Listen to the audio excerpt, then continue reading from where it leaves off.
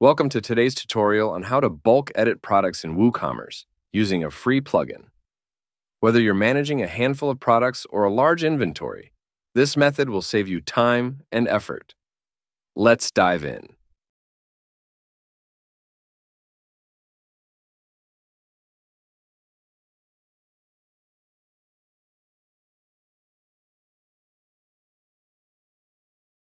First, log into your WordPress dashboard and navigate to Plugins, Add New.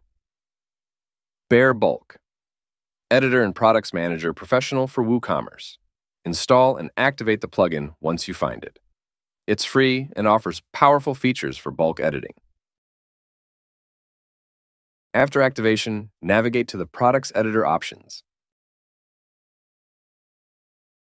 Here you can easily make changes to many parts of your products at once, like pictures, names, descriptions, whether they're for sale, how much they cost, and more. Let's experiment with some edits and observe how these changes take effect without needing to press any update button.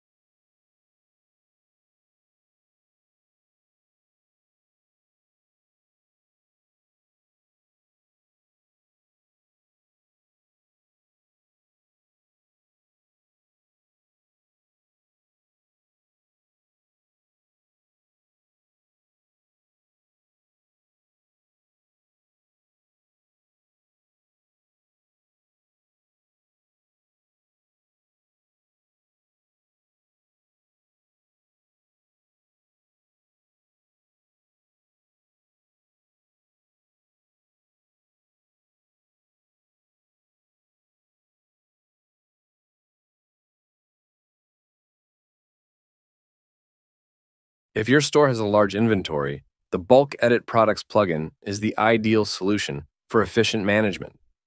For more details and to download the plugin, check out the link in the video description.